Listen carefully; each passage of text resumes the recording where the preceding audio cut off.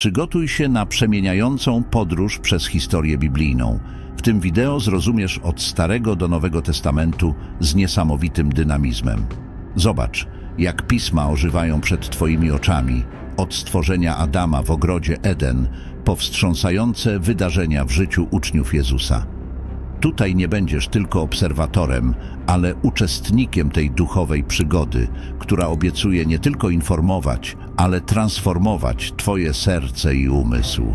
Jeśli Biblia zawsze wydawała Ci się skomplikowana lub odległa, tutaj zrozumiesz ją w prosty i przyjemny sposób. To wideo jest oparte na uznanej książce Panorama historii chrześcijańskiej autorstwa znanego pastora Hernandeza Diasa Lopeza. Na końcu tej doświadczenia nie będziesz już taki sam.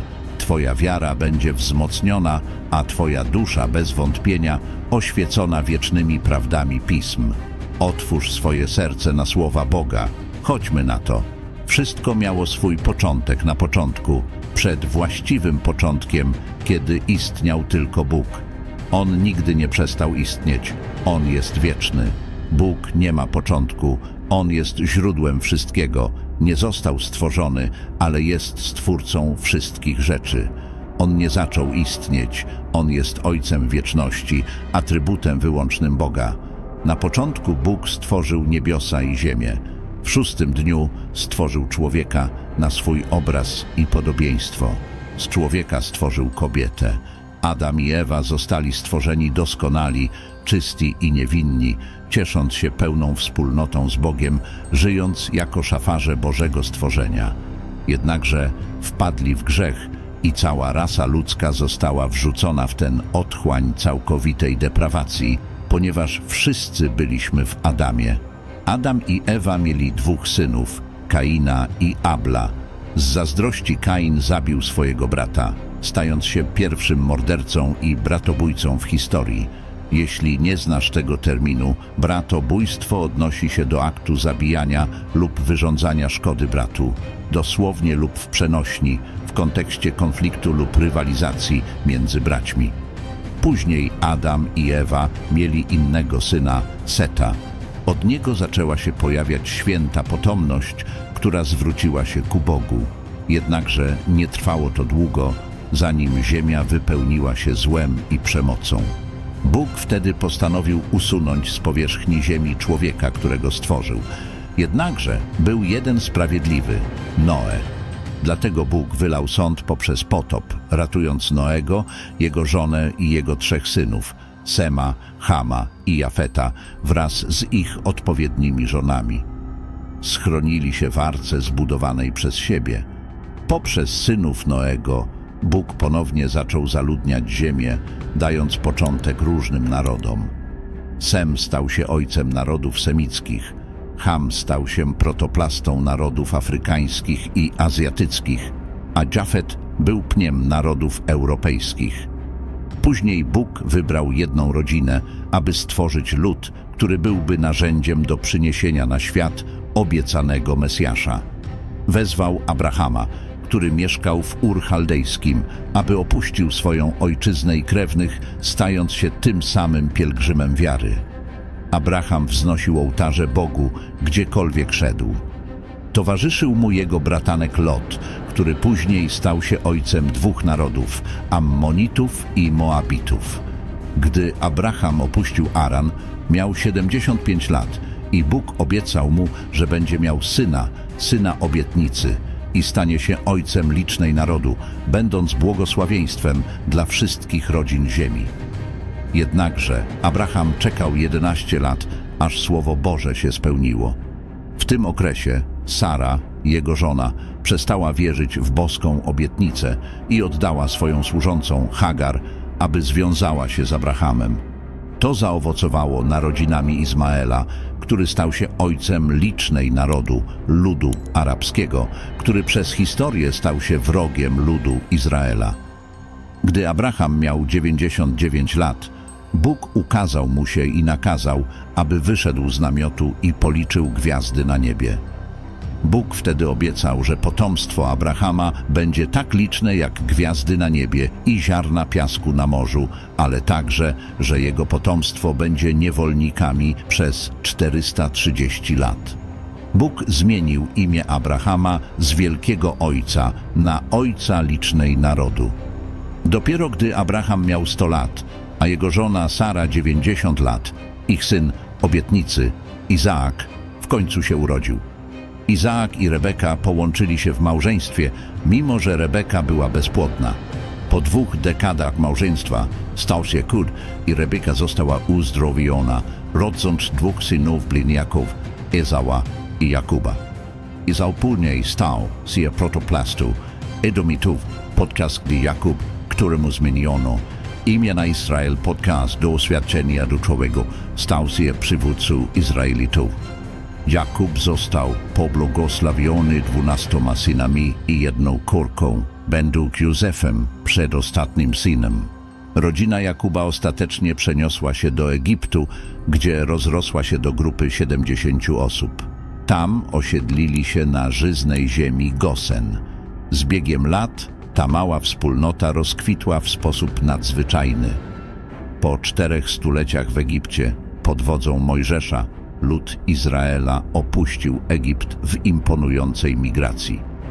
Około 600 tysięcy mężczyzn, oprócz kobiet i dzieci, co łącznie dawało około 2 milionów osób, wyruszyło w podróż przez pustynię w kierunku Ziemi Obiecanej. Chociaż podróż do Ziemi Obiecanej miała trwać tylko trzy miesiące, niewiara ludu, podsycana przez negatywne raporty 10 z 12 zwiadowców, którzy zbadali Ziemię obiecaną, ostatecznie przedłużyła podróż do 40 lat. Ci dziesięciu zwiadowców rozpowszechniali pesymistyczne informacje i podburzali lud przeciwko Bogu i Mojżeszowi. W obliczu zagrożenia ze strony gigantów tej ziemi, wielu Izraelitów poczuło się jak szarańcza i zwątpiło w moc Boga. W rezultacie ich niewiary Bóg surowo ich ukarał, skazując całe pokolenie na zagładę na pustyni, z wyjątkiem Jozłego i Kaleba, jedynych zwiadowców, którzy zachowali swoją wiarę.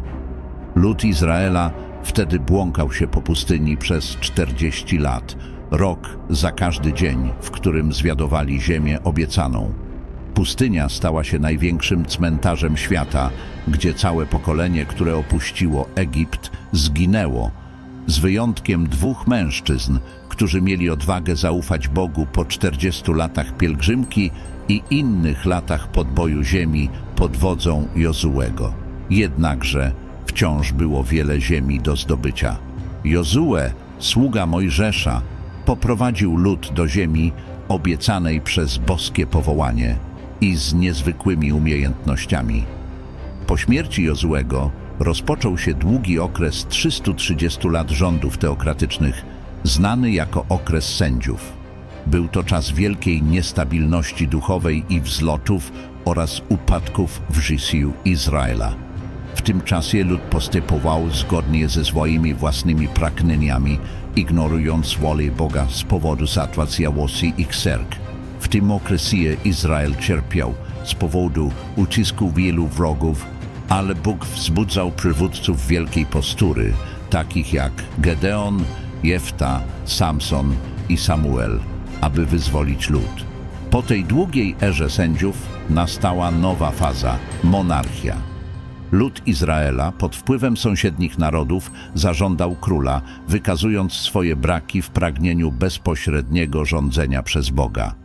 Samuel, ostatni sędzia, namaścił Saula na króla Izraela. Saul panował przez cztery dekady, zaczynając od pokory i kończąc na arogancji, okrucieństwie, buncie i apostazji. Po jego rządach Dawid objął tron na 40 lat i przeniósł stolicę z Hebronu do Jerozolimy, prowadząc udane rządy.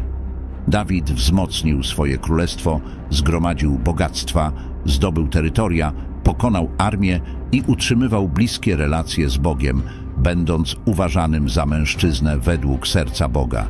Nawet popełniając poważne grzechy przeciwko Bogu, swojej rodzinie i ludowi, pokutował i został przebaczony. Po śmierci Dawida, jego syn Salomon zastąpił go na tronie na 40 lat. Salomon poprosił Boga o mądrość, którą mu Bóg dał, ale nie tylko mądrość, ale także bogactwa. Stał się znaczącą postacią swoich czasów, budując świątynię jerozolimską i ciesząc się pokojowymi rządami. Jednakże z powodu wielkiej liczby żon, jego serce zostało skorumpowane na starość. Salomon zwrócił się do Boga i pokutował za swoje grzechy. Tak więc mieliśmy łącznie 120 lat Zjednoczonego Królestwa. Saul zajmował się czarami, Dawid wpadł w cudzołóstwo, a Salomon oddał się bałwochwalstwu. Bóg spełnił życzenie ludu, aby mieli królów, ale lud musiał zmierzyć się z konsekwencjami tej nieprzemyślanej decyzji. Po śmierci Salomona królestwo zostało podzielone z powodu odmowy jego syna Roboama, aby wysłuchać wołania ludu o zmniejszenie nadmiernych podatków. Pompa, luksus rządów Salomona i ucisk pracowników przez wysokie podatki były nie do utrzymania. Podczas przejścia władzy pracownicy, przytłoczeni podatkami, wykorzystali okazję, aby domagać się zmian. Jednakże nie odnieśli sukcesu w swoich roszczeniach i w rezultacie nie mogli poprzeć nowego króla. To doprowadziło do spisku dziesięciu z dwunastu plemion przeciwko Roboamowi, prowadząc do powstania nowego królestwa, znanego jako Królestwo Północne, z Samarią jako jego stolicą. To Królestwo Północne istniało przez 209 lat i miało 19 władców z ośmiu różnych dynastii. Niestety, żaden z tych władców nie był pobożny. Wszyscy odwrócili się od Boga i podążali drogami Jeroboama. Początkowo Jeroboam używał religii dla celów politycznych, budując świątynie w Betelu, Gilgalu i Berbie, gdzie umieścił złotego cielca i zachęcał lud do jego czczenia jako Boga. Ta strategia miała na celu zapobiec temu, aby jego poddani udali się do Jerozolimy, aby oddawać cześć w świątyni, a tym samym stali się politycznie lojalni wobec królów Judy. W tym okresie Bóg wzbudził proroków takich jak Amos, Ozeasz i Micheasz, aby potępiali grzechy władców narodu, jak również proroków działających dla własnych korzyści i skorumpowanych kapłanów przekupionych pieniędzmi. Odważnie stawiali czoła odstępstwu narodu we wszystkich miejscach, od pałacu po zaułki, od rywalizujących świątyń po handel na ulicach i polach. Potępiali korupcję polityczną i podnosili głos przeciwko skorumpowanej religii, wygłaszając oskarżenia w imieniu Boga przeciwko skorumpowanym władzom wykonawczym i ustawodawczym. Potępiali również niesprawiedliwość społeczną i ucisk ekonomiczny, wzywając lud do pokuty. Jednakże ich przesłania padały na głuche uszy podczas panowania Achaba, szczególnie za pośrednictwem jego żony Izebel, która rozpowszechniała zgubną wiarę w Baala, Boga dobrobytu, po całym Izraelu. W tym momencie Bóg wzbudził proroka Eliasza, aby zdemaskować tę pogańską bóstwo i podważyć wiarygodność obrzydliwego idola. Ponadto Bóg wezwał Elizeusza, aby zastąpił Eliasza i prowadził cudowne posługiwanie. Jednakże Izrael odmówił słuchania głosu Boga, a Pan użył języka kary, sprowadzając Asyryjczyków przeciwko narodowi Izraela. Asyria stała się rózgą gniewu Boga, będąc imperium ekspansjonistycznym, wojowniczym i krwiożerczym.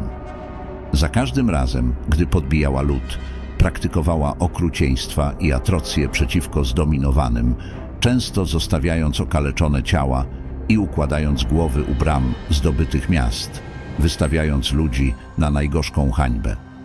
Po zabraniu ludu północy do niewoli, król Sargon Pippe wysłał mieszankę innych ludów do ziemi Izraela, tworząc w ten sposób wielką mieszankę rasową. Wiedział, że to działanie osłabi potencjał istnienia zjednoczonego ludu, tworząc hybrydowy lud zwany Samarytaninem, który stał się zaciętym wrogiem ludu Judy.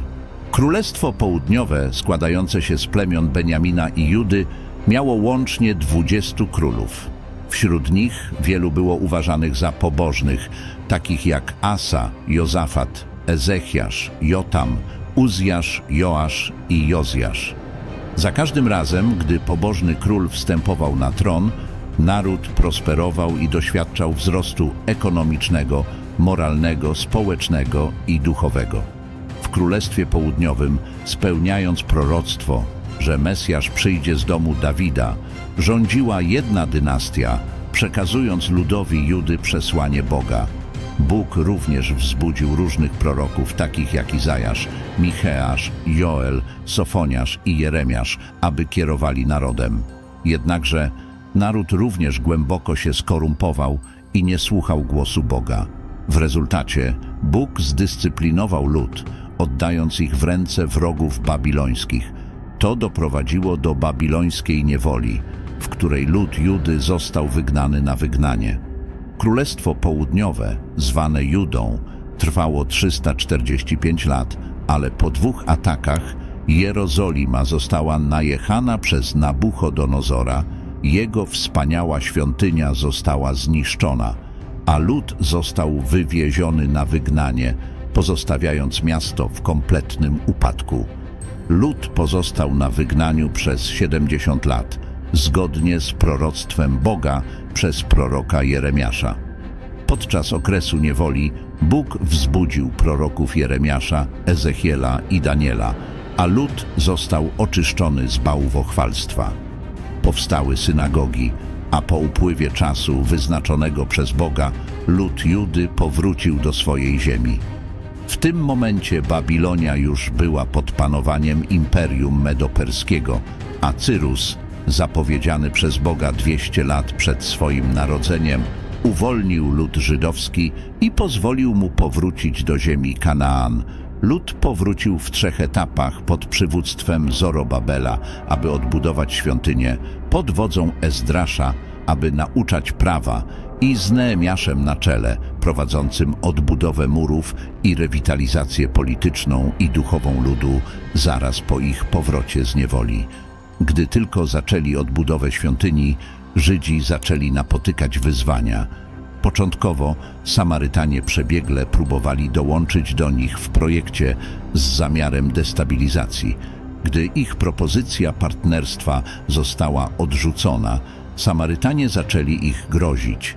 Następnie napisali list do króla Artaxerxesa, oskarżając lud żydowski o spiskowanie przeciwko królestwu medoperskiemu.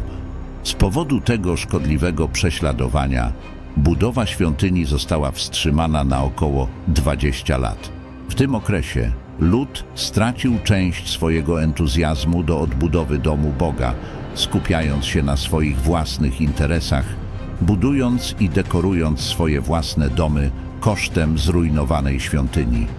W tym krytycznym momencie Bóg wzbudził proroków Aggeusza i Zachariasza, aby wezwali lud do pokuty.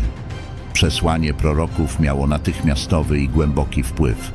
Lud szybko się nawrócił i z entuzjazmem powrócił do zakończenia odbudowy świątyni. To wywołało wielkie przebudzenie duchowe, skutkujące poprawami w rodzinach i kapłaństwie oraz szczerym powrotem całego serca do Boga. Około 100 lat minęło, a nowe pokolenie pojawiło się. Jednakże lud zaczął tracić swoją dewocję do Boga. Chociaż nadal uczęszczali do świątyni i składali ofiary, nie czcili już Boga jak wcześniej. Ich ofiary składały się z niewidomych, chorych i kalekich zwierząt, a nawet gardzili stołem pańskim, uważając go za nieczysty. Kapłani również się skorumpowali, przestając nauczać słowa Bożego ludowi.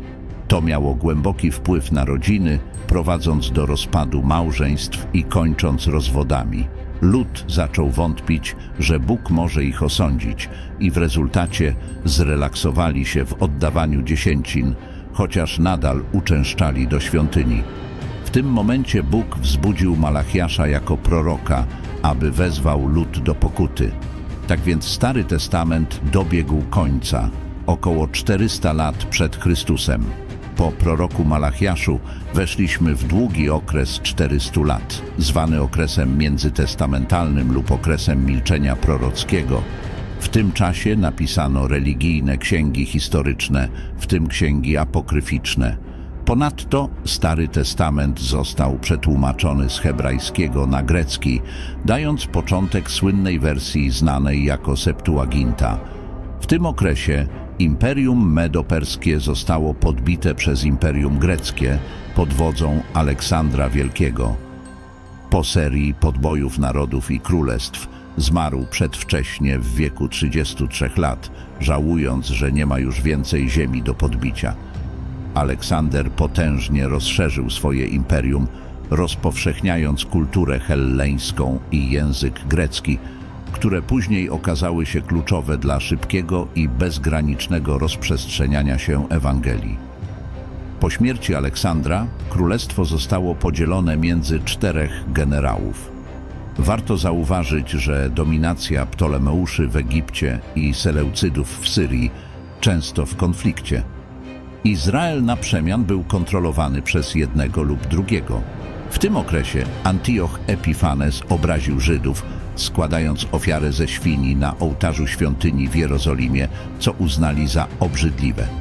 To oznaczało początek wojny machabejskiej, która została wygrana przez Judę Machabeusza po przelaniu wielu krwi. Później w roku 63 Peneneze Pompejusz podbił Jerozolimę, a Rzymianie zaczęli dominować nad Izraelem. Herod Wielki objął władzę i wyróżnił się jako zręczny administrator. Rozbudował i upiększył świątynię jerozolimską, zbudował port w Cezarei, ułatwiając międzynarodowy handel i podróże misjonarzy. Ponadto wzniósł twierdzę Masada, a także wiele pałaców i fortecy. Jednakże Herod był człowiekiem naznaczonym niepewnością i przemocą, dręczonym ciągłym strachem przed utratą tronu przez Kałyżycję. Ożenił się dziesięć razy i miał liczną prole. Gdy połączył się z Marianą, kobietą z arystokracji, jego zaniepokojenie utrzymaniem władzy skłoniło go do podjęcia skrajnych działań. Obawiając się, że jego pozycja może być zagrożona, nakazał zamordowanie wszystkich arystokratów w swojej własnej rodzinie. Pod naciskiem swojej teściowej mianował swojego bratanka, Arolo, w wieku zaledwie 17 lat, na arcykapłana Jerozolimy. Jednakże zdając sobie sprawę, że Arolo zyskuje sympatię ludu, nie zawahał się kazać go zabić. Jego teściowa, obawiając się o własne życie, uciekła do Egiptu, ale Herod wysłał za nią posłańców z zamiarem jej zabicia.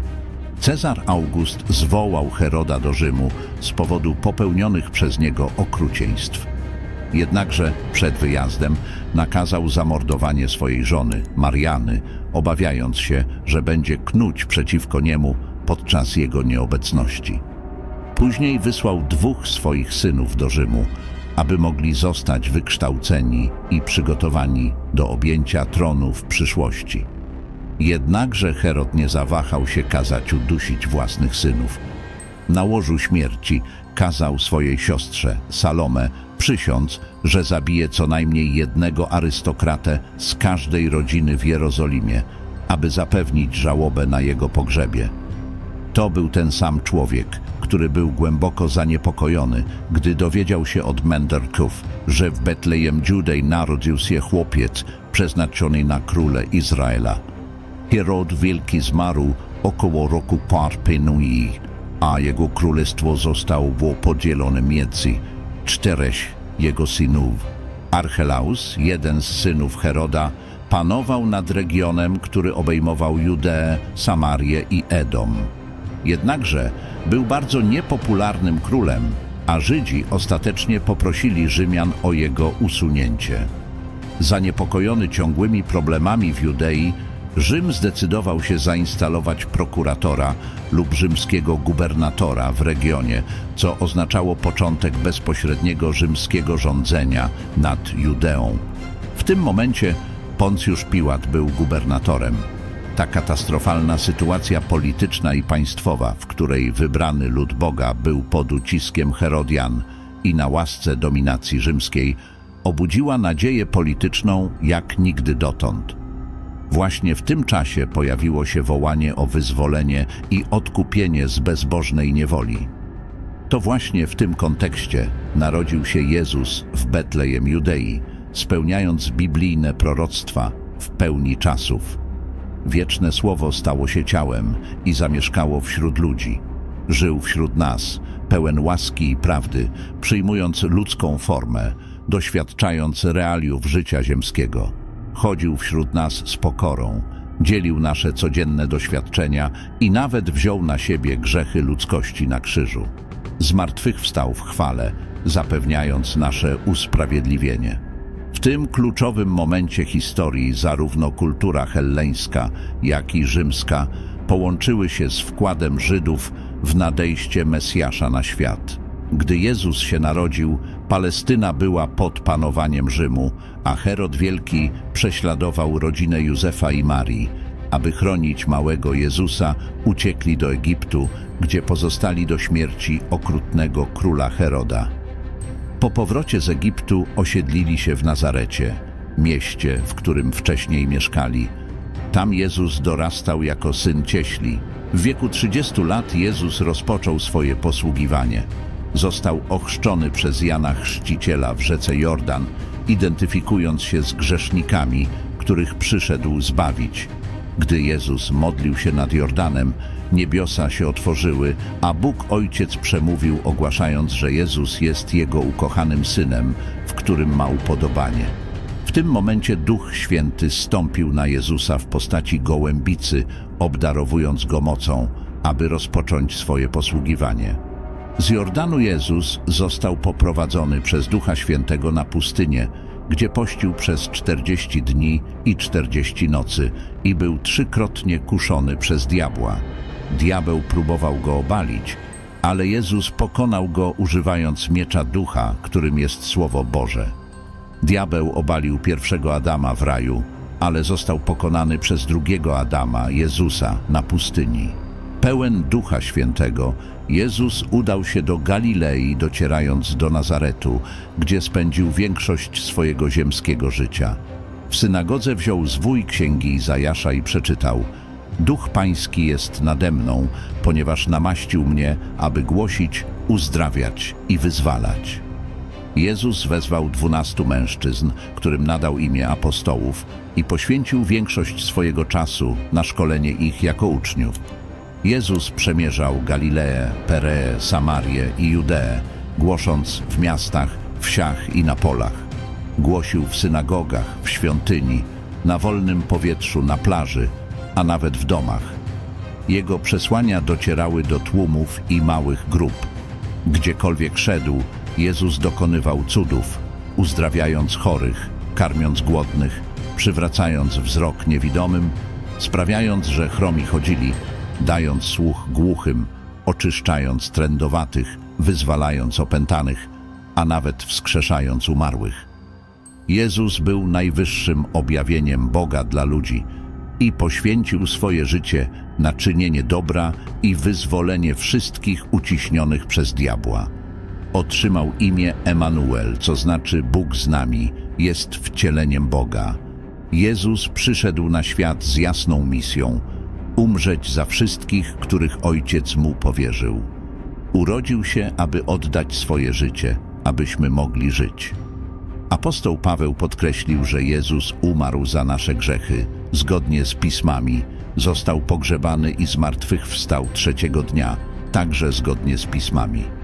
Jego śmierć nie była przypadkiem, ani jego zmartwychwstanie niespodzianką.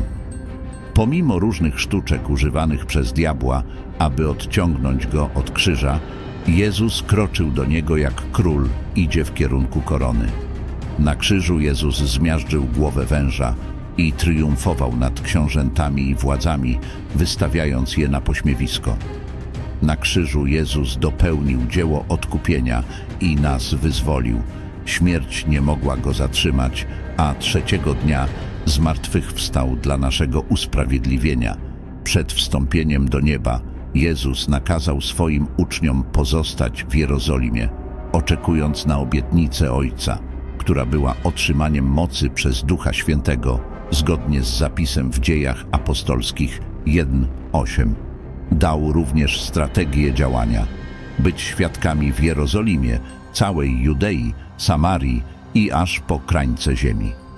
Po pięćdziesiątnicy Kościół rósł w sposób znaczący w Jerozolimie, z tłumami ciągle nawracającymi się do niego. Jednakże, ponieważ Kościół był jeszcze ograniczony do Judei, Bóg pozwolił na prześladowanie, które rozproszyło wierzących, niosąc słowo tam, gdzie szli. Tak właśnie Filip dotarł do Samarii, przełamując bariery wrogości i głosząc Ewangelię z mocą. Ludzie radowali się, słuchając i widząc dzieła, które Bóg czynił przez Filipa, który był diakonem i kaznodzieją. Przez nałożenie rąk apostołów Piotra i Jana Samarytanie również otrzymali Ducha Świętego. Ewangelia zaczęła rozprzestrzeniać się poza granice Izraela z nawróceniem Saula z Tarsu, który wcześniej prześladował Kościół, podążając drogą do Damaszku. Później Kościół w Antiochii Syryjskiej, zboże pogańskim, stał się epicentrum misji transkulturowych.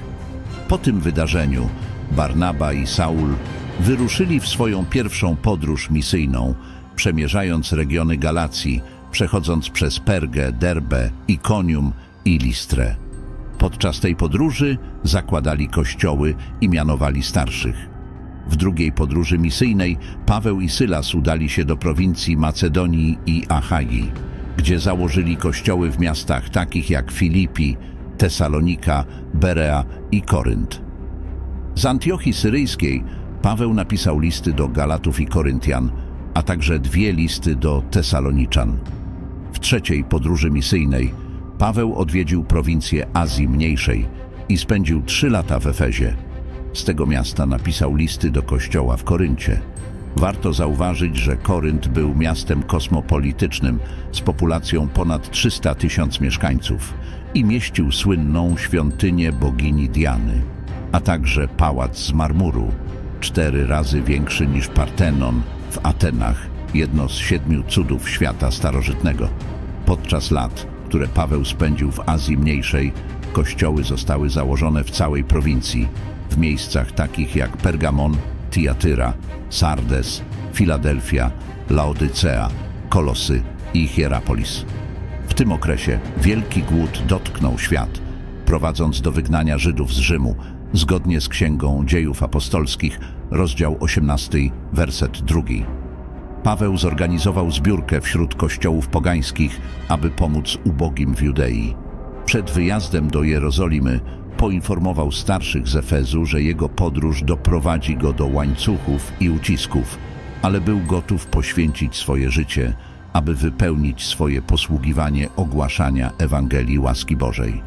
Przed swoim wyjazdem do Jerozolimy Paweł napisał swoją najbardziej znaczącą epistołę, list do Rzymian, w którym wyraził swoje pragnienie odwiedzenia stolicy imperium i dzielenia słowa z Kościołem tam. Ponadto był zdeterminowany, aby udać się do Hiszpanii, zabierając ze sobą znaczącą pomoc finansową dla ubogich w Judei. Paweł napotkał różne trudności na swojej drodze. Początkowo został zatrzymany w Jerozolimie, a następnie przeniesiony do Cezarei, gdzie był oskarżony przez Żydów przez dziesięć długich lat pod nadzorem gubernatorów Feliksa i Festusa. Sytuacja stała się jeszcze bardziej skomplikowana, gdy Festus rozważał przekazanie Pawła Sanhedrynowi, który miał zamiar go skazać na śmierć. Jednakże Paweł korzystając ze swoich przywilejów jako obywatel rzymski, wybrał, aby być sądzonym w Rzymie. Podczas podróży do stolicy imperium statek, na którym się znajdował, doświadczył strasznego rozbicia, co skutkowało całkowitym zniszczeniem statku. Wszyscy pasażerowie i załoga zostali cudownie ocaleni, spełniając w ten sposób obietnicę Boga dla Pawła. Po przybyciu na wyspę Maltę Paweł został ukąszony przez żmiję, ale Bóg interweniował i zneutralizował śmiertelny jad węża. Ponadto Paweł został użyty przez Boga do uzdrowienia wszystkich chorych na wyspie. Mieszkańcy Malty pod wrażeniem tych wydarzeń zapewnili niezbędne środki na podróż Pawła do Rzymu. W Rzymie Paweł pozostał więziony przez dwa lata w wynajętym domu, podczas których ewangelizował gwardię pretoriańską, zachęcał wierzących do pracy i napisał listy do kościołów w Efezie, Filipach, Kolosach i do Filemona. Później Paweł został zwolniony z więzienia i napisał swoją pierwszą listę do Tymoteusza i list do Tytusa. Jednakże od roku 64 prześladowanie Kościoła przestało być głównie religijne i stało się polityczne. Paweł został ponownie aresztowany i uwięziony w ciemnej, wilgotnej i niezdrowej lochu. 17 lipca 64 roku Rzym był świadkiem niszczycielskiego pożaru, który pochłonął dużą część miasta przez siedem nocy i sześć dni. Nero, cesarz, obserwował tę tragedię, ubrany jak aktor z wieży mecenasa. Pożar zniszczył 70% miasta. Z 10 z 14 dzielnic Rzymu, będących zdewastowanych przez płomienie, cztery pozostałe dzielnice gęsto zaludnione przez Żydów i chrześcijan dały Nerowi okazję do obarczenia chrześcijan winą za pożar Rzymu. Wówczas rozpoczęło się okrutne prześladowanie Kościoła, a brak drewna do robienia krzyży był tak duży z powodu liczby wierzących ukrzyżowanych. Wierzący byli przywiązywani do słupów, pokrywani smołą i paleni żywcem, aby oświetlać noce Rzymu. Była to prawdziwa masakra podczas tej drugiej więzienia. Paweł napisał swoją ostatnią epistołę, drugi list do Tymoteusza, w którym opisał nadejście własnego męczeństwa i chwalebnej nadziei na otrzymanie korony sprawiedliwości. Około roku 67 weteran apostoł został ścięty, pozostawiając przyszłym pokoleniom cenny spadek. Nowy Testament został napisany w ciągu 50 lat i obejmuje cztery księgi biograficzne, znane jako cztery Ewangelie. Trzy z nich są synoptyczne, czyli przedstawiają podobną perspektywę. Mateusz, przedstawiający Jezusa jako króla Żydów, napisał swoją Ewangelię dla społeczności żydowskiej. Zawiera najwięcej cytatów ze Starego Testamentu i jest najbardziej skierowana do żydowskiej publiczności. Marek z kolei ukazuje Jezusa jako sługę i kierował swoją Ewangelię do Rzymian. Jego nacisk leży na dziełach Jezusa bardziej niż na jego nauczaniu. Ewangelia Łukasza podkreśla Jezusa jako Syna Człowieczego i została napisana przez gentylskiego lekarza, historyka i podróżnika. Łukasz starał się przedstawić Jezusa jako doskonałego człowieka, dlatego podkreśla życie modlitewne Jezusa i jego posługiwanie realizowane w mocy Ducha Świętego. Wreszcie Ewangelia Jana, napisana pod koniec I wieku, miała na celu zwalczenie gnostycyzmu, herezji, która zaprzeczała boskości Chrystusa. Jan przedstawia Jezusa jako prawdziwie Boga i prawdziwie człowieka, podkreślając siedem cudów dokonanych przez Jezusa i siedem stwierdzeń Ja jestem, aby udowodnić Jego boskość. Oprócz Ewangelii mamy dzieje apostolskie, które relacjonują wydarzenia związane z pierwszym Kościołem od jego narodzin aż do ekspansji do miasta Rzymu. Trzy kościoły odegrały kluczową rolę w tym postępie – Jerozolima, Antiochia i Efes. Były odpowiedzialne za dotarcie do czterech prowincji Imperium Galacji, Macedonii, Achadzi i Azji Mniejszej. Warto zauważyć, że Księga Dziejów nie posiada ostatecznego zakończenia, ponieważ historia Kościoła trwa, a my jesteśmy dziedzicami i kontynuatorami Kościoła, który narodził się w Pięćdziesiątnice. Ponadto mamy listy apostoła Pawła skierowane do kościołów w Rzymie, Galacji, Efezie, Filipach, Kolosach i Tesalonice, a także jego listy osobiste do Tymoteusza, Tytusa i Filemona. Innym ważnym listem był list wysłany do Żydów, którzy zmagały się z pokusami z powodu prześladowań i groziło im cofnięcie się w wierze, znany jako list do Hebrajczyków, którego autor jest nieznany. Mamy również listy ogólne napisane przez Jakuba, Piotra, Jana i Judasza. Na koniec nie możemy zapomnieć o księdze eschatologicznej Apokalipsie, która opowiada o triumfalnym zwycięstwie Chrystusa i Jego Kościoła napisanej przez apostoła Jana na wyspie Patmos około roku 96. Jeśli czytasz to, mam nadzieję, że nauczyłeś się o tej bogatej historii. Niech Bóg błogosławi Twoje życie. Jeśli jeszcze nie przyjąłeś Jezusa jako swojego Zbawiciela, wiedz, że jest jeszcze czas. Pokutuj, ponieważ On może przemienić Twoją przyszłość i Twoją historię, zabierając od Ciebie cały smutek i samotność i dostarczając to, czego naprawdę potrzebujesz. Wejdź do swojego pokoju, zamknij drzwi i porozmawiaj z Bogiem. On Cię wysłucha. Niech Bóg Cię błogosławi. A jeśli podobało Ci się to wideo, nie zapomnij polubić i subskrybować kanału.